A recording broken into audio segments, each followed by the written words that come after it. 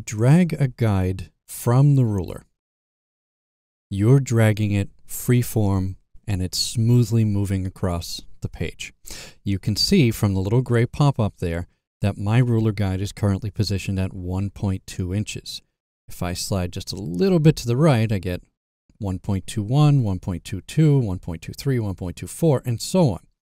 Now, I'm pretty accurate with my mouse on this particular system, but sometimes I'm dealing with trackpads and other things that are really a pain to get very accurate measurements or movements on.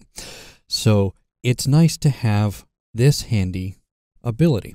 If you drag a ruler guide and hold the shift key on either Windows or Mac, the ruler guide will snap to the next tick mark on the ruler.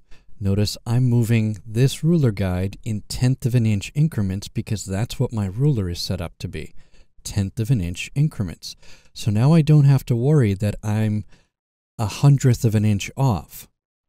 I know that I'm getting 2.8, 2.9, 3, 3.1, 3.2, and so on, just by holding the shift key. And it works, of course, on both rulers.